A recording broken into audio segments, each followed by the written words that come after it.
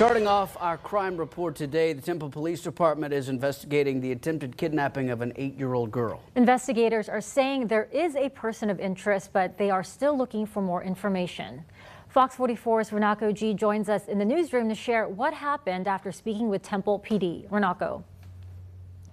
MG and Adam, as you can imagine, this is an alarming situation for anyone with children, and the Temple Police Department is doing everything they can to get to the bottom of what happened.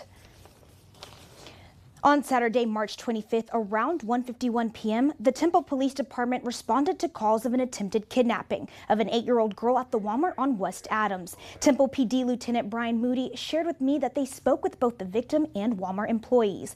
Moody said the eight-year-old girl was with her great-grandmother shopping in Walmart when a man approached the child a few feet away from her great-grandmother, making a casual conversation. The interaction then escalated quickly. He asked her to lift her shirt, and then he demonstrated as well. And then he asked her to accompany him to the toy aisle. She said no. Uh, he attempted to grab her arm. She said no again, and at that point broke away and ran screaming and found her great grandmother.